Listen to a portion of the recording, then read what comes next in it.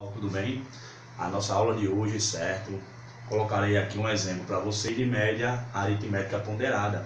Aqui vai ser para o oitavo ano B, pessoal, certo? Oitavo ano B, né? A gente vai falar um pouco. É, é um conteúdo dentro de estatística, né?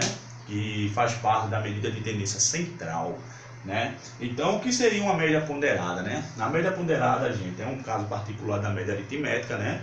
Então ela parte de uma fórmula específica que eu vou chamar de MP, que está aqui, ó, MP é igual a x1 vezes P1 mais x2 vezes P2 mais xn vezes Pn. Dividido tudo isso aqui pela soma dos pesos, P1 mais P2 mais P3 mais Pn, né? Então o que, que acontece? Sendo que, vou botar aqui em cima, certo pessoal? Sendo que P1 é o que a gente chama de peso, certo? É o que a gente chama de peso 1. P2, peso 2. P3, peso 3. Então eu coloquei aqui uma questão bem simples para a gente fazer e aplicar o que a gente viu, beleza? Então, considerando as notas dos respectivos pesos de cada, é, cada uma delas, indique qual a média dos alunos que obteve no curso. Por exemplo, de disciplina, biologia, ele tirou uma nota de 8,2, peso 3.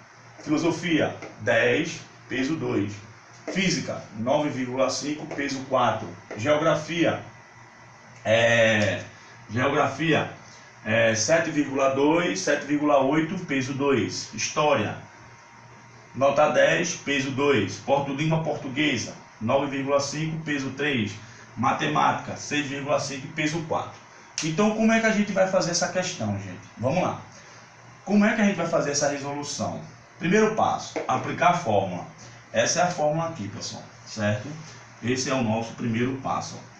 Então, a média ponderada vai ser x1 vezes P1 mais x2 vezes P2 mais reticência xn vezes Pn dividido por P pela soma dos pesos. Então, vamos lá. Quem é a média ponderada aqui? Peso x1, biologia, peso 1, 8,2 vezes 3, mais 10 vezes 2 mais 9,5 vezes 4 mais 7,8 vezes 2 mais 10,0 vezes 2 mais 9,5 vezes 3 mais 6,5 vezes 4. Então o que, é que acontece aqui? Preste atenção, gente. Então, quando eu fizer, primeiro, quando eu fizer essa expressão aqui, eu tenho que fazer logo, gente, a multiplicação para depois somar. Então, 8,2 vezes 3 dá 24,6. 10, é, 10 vezes 2 dá 20, 9,5 vezes 4, 38, certo? É, 7,8 vezes 2, como está aqui, 15,6, é, mais 10 vezes 2, que dá 20, 9, é, dá 28,5 mais 26. Então, vou somar todo esse valor, que eu vou chegar aqui, a média aritmética de, a média, a média aritmética ponderada de 172,7. Então, dividido por 20. Então, o que seria a média ponderada aqui? 8,63, 8,635. Se eu quiser aproximar esse valor para 7, porque ele está acima de 5, então eu posso fazer isso. Então, a minha média ponderada desse aluno, no curso qualquer, aonde ele vai ter aqui esta disciplina, no curso geral, é de 8,7 certo? Então o que é que acontece? Aqui, gente, está um exemplo mais simples, mais nítido do que seria aqui, gente, uma média aritmética ponderada, certo?